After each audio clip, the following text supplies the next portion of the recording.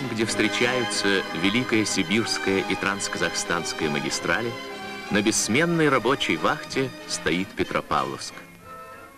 Во все концы земли советской идут через город тяжеловесные составы с уральским металлом, карагандинским углем, сибирским лесом и целинным хлебом. Петропавловск – северные ворота республики. Через этот город почти 20 лет назад ехали в казахстанскую степь покорители новых земель.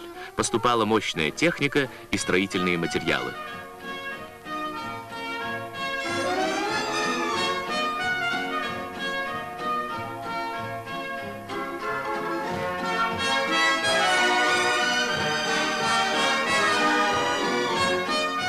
За годы советской власти Петропавловск из захолустного купеческого городка превратился в один из крупных административных, промышленных и культурных центров республики.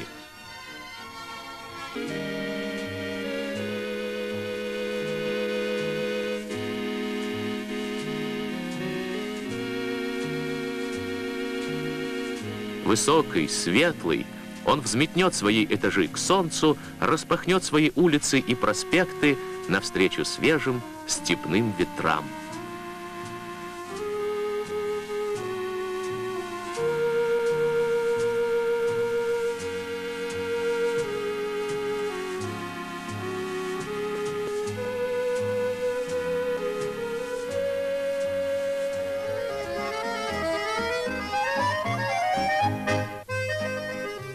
Сегодня Петропавловск, как и вся наша республика, огромная строительная площадка.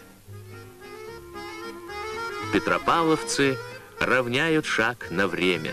Они живут и возводят свой новый город там, где встретились Великая Сибирская и Трансказахстанская магистрали, где особенно четко слышен трудовой ритм великой страны Советов, вступившей в девятую пятилетку, пятилетку небывалых свершений и побед.